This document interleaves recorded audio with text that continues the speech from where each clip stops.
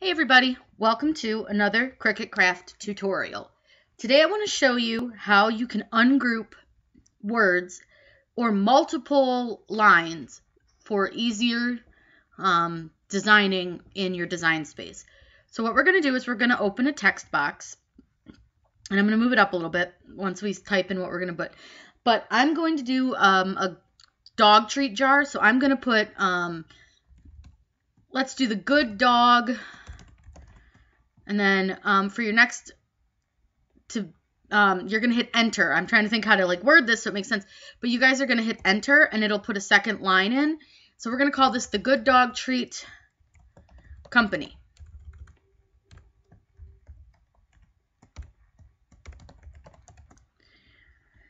So I'm going to move it up here so you guys can see it better.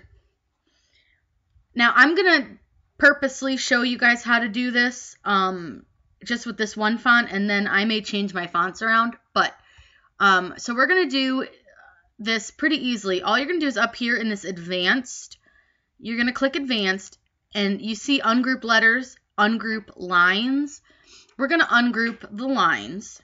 And what it's going to do is it allows us to move each line of text in in its own um, space. And we can actually curve each line of text as well.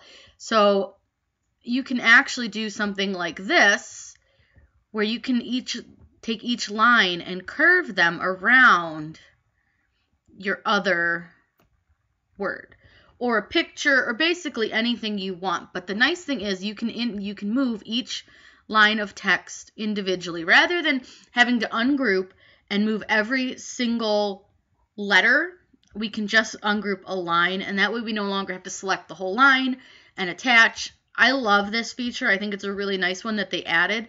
You can still ungroup your letters either here in advanced or up in ungroup um, where you normally would over in the layers. But I'll show you ungroup letters and that'll actually make it so we can move our letters around. So if you didn't like where something was sitting, um, whether it's your um, script fonts or anything like that, because I didn't like how far the A was apart, all you have to do is do that pretty easy. And then you just do the same thing where you could select it and group your letter, group your letters again. Guys, I really like the new feature that they've added. I think it's really fun. It's super easy to use. So in case anyone did miss when Design Space came and did these updates, we can now curve our letters, um, our text. We can also ungroup by line or word, depending on how you type it out. Um, you can also um, with your with the projects they look a little bit different and I'll show you them just real quick so you guys can see. You can see when you pull them up they look a lot different than they did.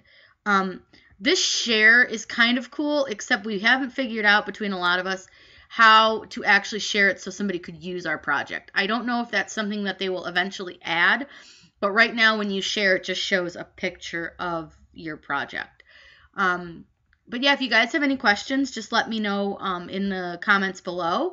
I'm always happy to answer your questions. If you guys want to see a tutorial on something, also let me know in those comments below. I will absolutely make you guys some videos. Make sure you subscribe to my channel. I put out new videos all the time, and have a great day.